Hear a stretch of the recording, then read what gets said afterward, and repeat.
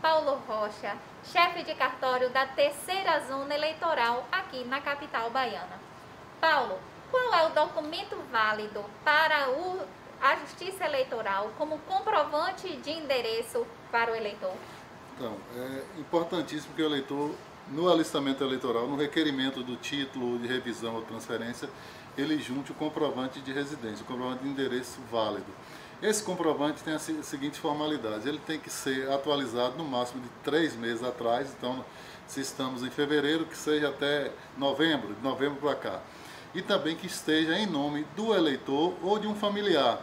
No caso, pai, ou mãe, ou avó, o avô, ou tia, ou irmão. Então, esse grau de parentesco tem que ser verificado no comprovante.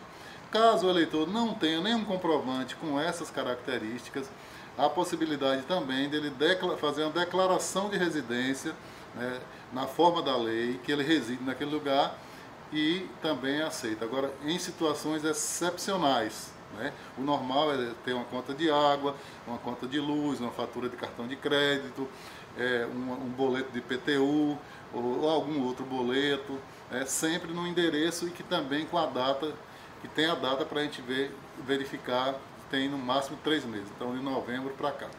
E quais são os documentos que comprovariam esse grau de parentesco? Pode ser, no caso, no caso de avó, pode ser uma certidão de nascimento, que tem o nome dos avós. É, a identidade tem o nome dos pais. Né? Tem que trazer sempre. Se é uma tia, aí vai ter que trazer o documento da mãe o documento da irmã da mãe, para a gente verificar. Ou no próprio nosso sistema da, da gente, o sistema Elo também, a gente pode fazer essa pesquisa e verificar o parentesco. É, fazemos sempre isso. Se está informando que quando é, é um, é um, sobrenome que não é tão comum e que a gente consulta no Elo, no Elo, sistema Elo, verifica que se trata de avó, de pai ou de tio.